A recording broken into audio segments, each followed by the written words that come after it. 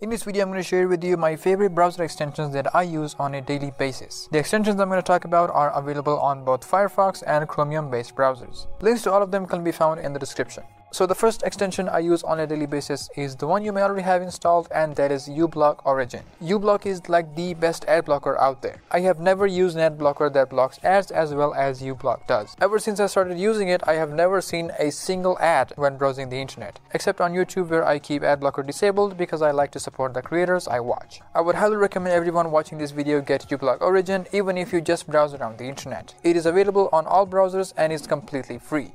Speaking of browsing the internet, what if you're browsing too much of it? How do you control yourself? Intention is here to help. Here's what Intention does. First, you add distracting websites you visit most such as Twitter, YouTube or Reddit.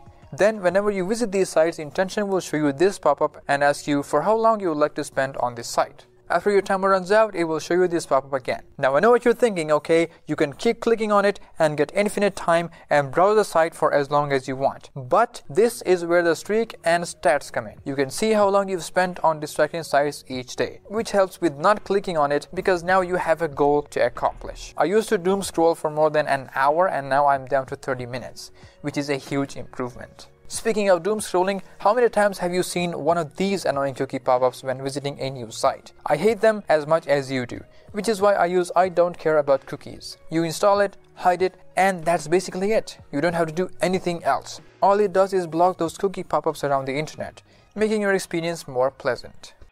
Speaking of pleasant experience, my Icon Pack Reef Pro has reached over 1200 icons and over 100 unique wallpapers. So if you want to support the channel and want to make your phone look awesome, check out Reef Pro from the link in the description.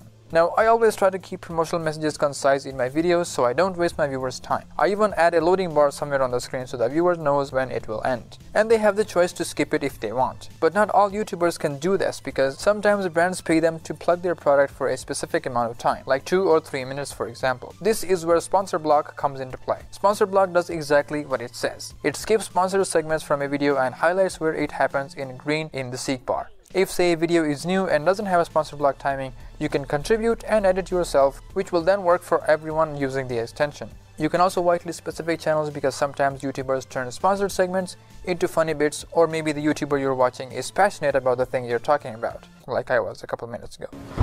Oh god, check out my icon pack. I have small parents to feed, oh god. Well, that was a bit dark. Just like the extension we're going to talk about next, which is Dark Reader.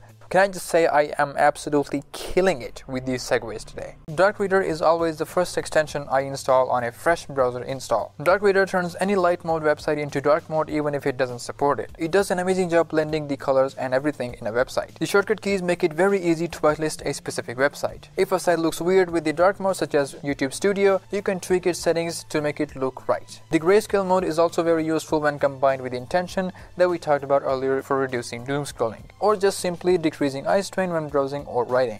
Speaking of writing, when writing the script for this video I had made a lot of grammar mistakes, but I solved most of them with Language Tool. A similar extension to Grammarly, but in my opinion it is better because unlike Grammarly, Language Tool explains the errors it finds in your grammar, helping not only fix the error, but understand it as well. It has helped me many times with grammar mistakes when writing scripts, tweets, or just messages. I would highly recommend it to anyone learning English or even just writing it. It really is a handy extension to have. I want to know what extensions you currently have installed on your browser. Please leave them in the comments below and let's expand this list even further. We might find some more interesting extensions in the comments. Be sure to subscribe if you found this video useful or at least entertaining and click the bell so you don't miss on any future videos. Thank you so much for watching. I will see you in the next video.